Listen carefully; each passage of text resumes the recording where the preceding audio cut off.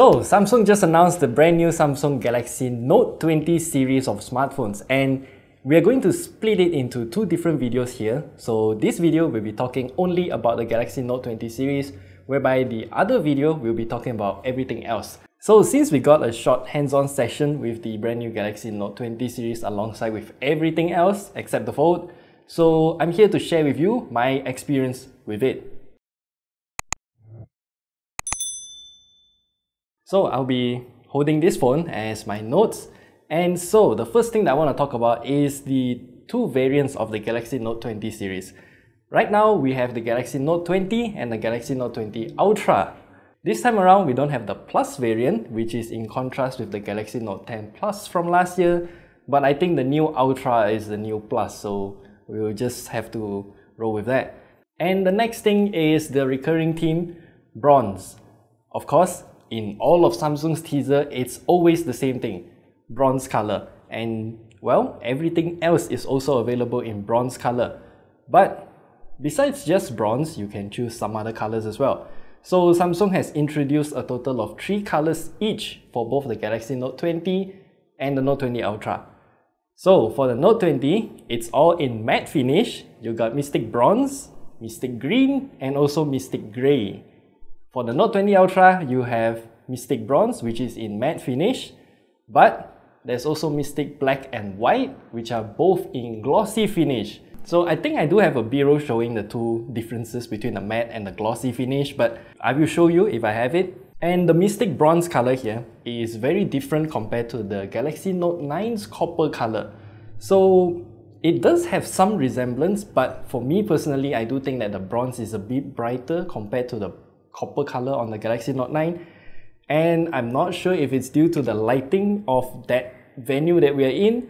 It kind of feels a bit pinkish when I look at the bronze color on the Galaxy Note 20. And what surprised me the most is the Galaxy Note 20's Mystic Green color. Uh, it instantly reminds me of the Galaxy Note 10 series Prism Green, which I have been using here for like more than a year. This is one of my favorite colors, personal favorite colors, because when I look at it, it's kind of like love at first sight, I would say.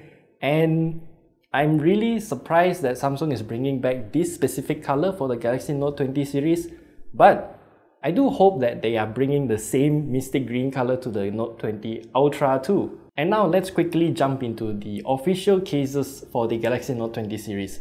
So we have the usual slew of cases, the silicon one, LED case, flip case, leather case, window case, and two more that stood out to me is the ones with a transparent back. So one of it is a transparent case with a border, very similar to this case that I'm using for the S10 Plus by the way. And then another one with a transparent back and also a kickstand at the back bottom here. So I think there's only two reasons why Samsung made this official case. Number one, to protect it from scratches, obviously. And the second reason is to show off the brand new colors of the Galaxy Note 20 series. And yeah, I do think that's a good move because I purposely got this transparent case just to show off this specific color. There's also the Kvadrat case, I think that's how it's pronounced.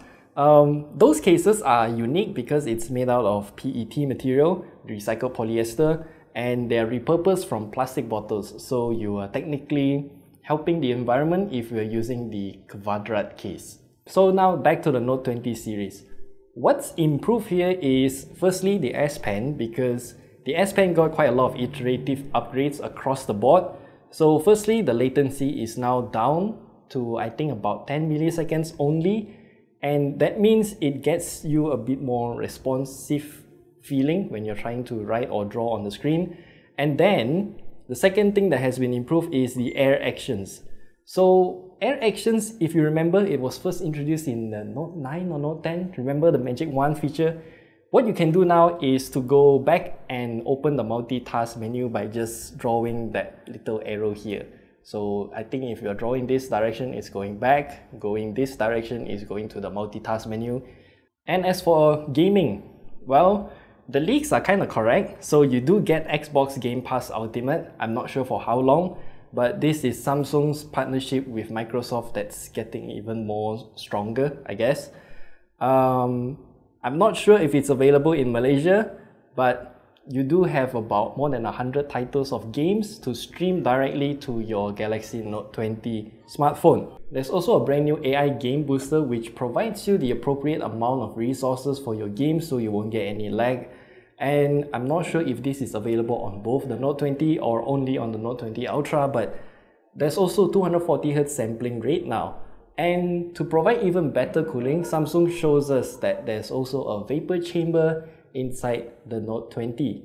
And one particular point that stood out to me is something called Bluetooth audio response.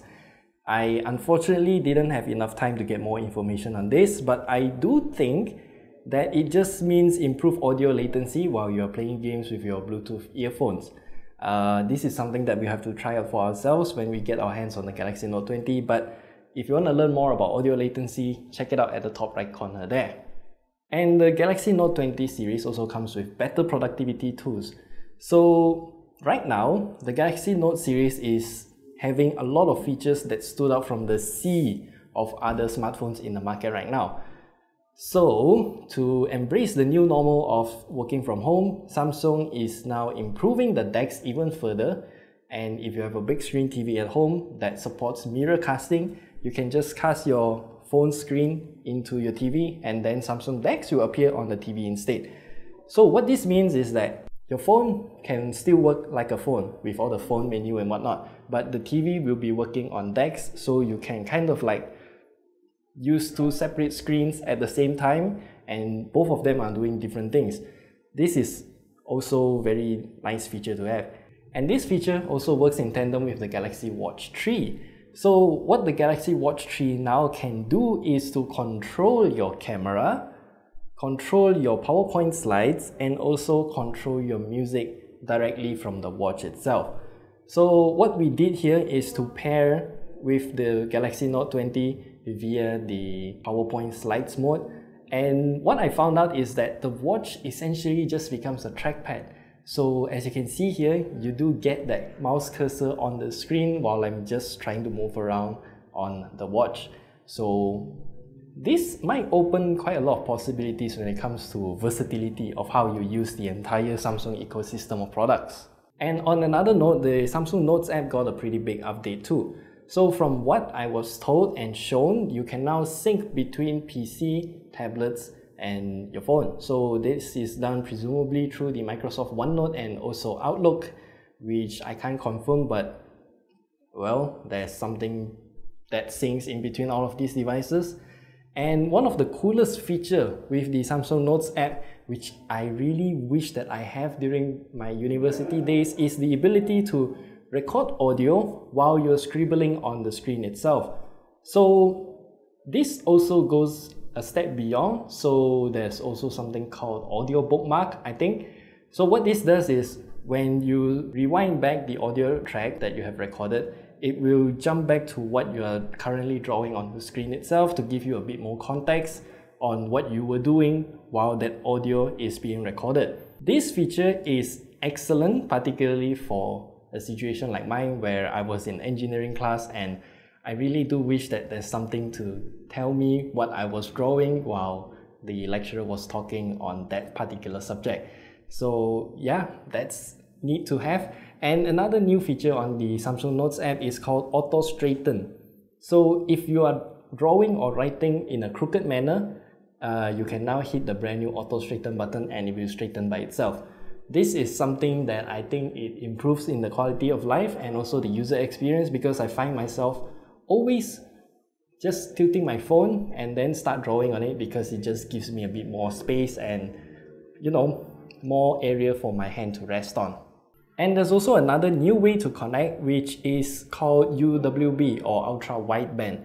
I'm not too sure if this is considered IoT or not because it's still relatively new to me and I didn't have much time to study about it in depth. But generally, I would consider this UWB feature to be some sort of like a, how do you say this? Long range NFC. So Samsung is currently highlighting the UWB in a few different ways, simple ways. So firstly is for discovery. So UWB works as a line of sight kind of laser technology thing that passes through a lot of objects but cannot pass through walls. So what you can do here is point your phone at maybe another phone and then it will discover the other phone through UWB and then you can just hit a button and send your files directly to the other device. And another application for UWB is digital lock.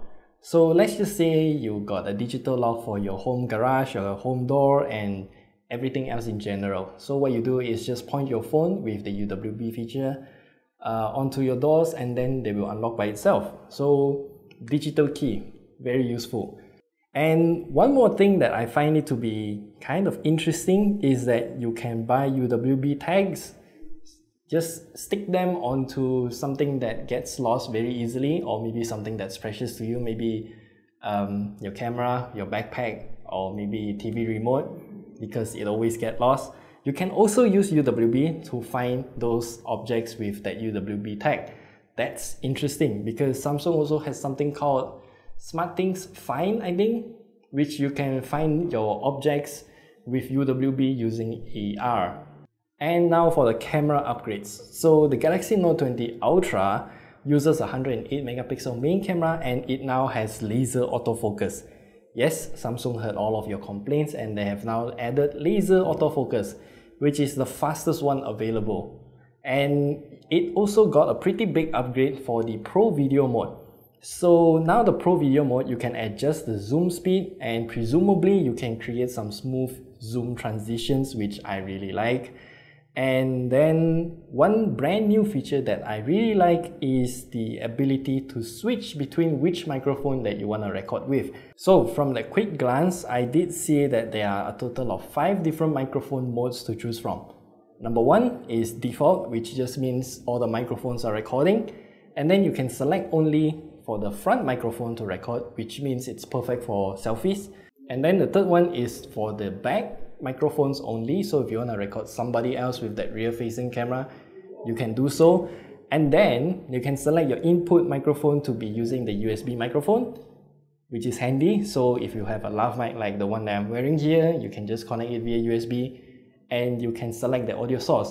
And the last one, which is the best one out there is to record using a Bluetooth microphone. So you do know now we have a lot of true wireless earbuds, right? convert them into a microphone instead. Excellent. And before we end this part, uh, I do want to go through some specs of the Galaxy Note 20 and the Note 20 Ultra. Unfortunately, I don't have the proper specifics of each phone here, but I'll just tell you what I know. So the Galaxy Note 20 will have a 6.7 inch screen with a 60Hz refresh rate. I'll leave the conversation for another time. And it also comes with a 4300 mAh battery and for us Malaysians, it is available in 8 gigs of RAM plus a 256 gigs of storage, and it is available in both 4G and 5G variants. As for the Galaxy Note 20 Ultra, it is 6.9 inch in size. It uses dynamic AMOLED 2X display. It can go up to 120 Hz refresh rate. It also can go up to 20% brighter than before 4500 mAh battery and for us Malaysians it comes with 12 gigs of RAM and 256 gigs of storage. And that's all we know about the Galaxy Note 20 and the Galaxy Note 20 Ultra as of now. Unfortunately, like I said, we don't have much time with the experiencer session so we can't answer all of your questions but here are what we know and we are actually recording this video on the same day just few hours before the whole unpacked event. So if you got this far into the video, remember to give us a like, do subscribe, and we'll see you in the part 2 of this unpacked event coverage.